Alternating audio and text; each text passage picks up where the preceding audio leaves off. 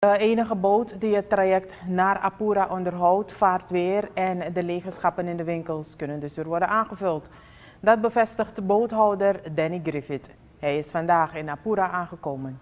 Griffith zegt dat tijdens de lockdown hij niet mocht varen naar het grensdorpje. Nadat de lockdown was opgeheven kon hij niet meteen varen omdat een motor van de boot defect was. Omdat de nood in Apura hoog was besloot hij toch op één motor te varen. Het heeft hem 12 uur gekost om het dorp te bereiken. Inmiddels is ook de storing van de enige pinautomaat in het dorp opgeheven. De plaatselijke bevolking kan weer volop boodschappen doen.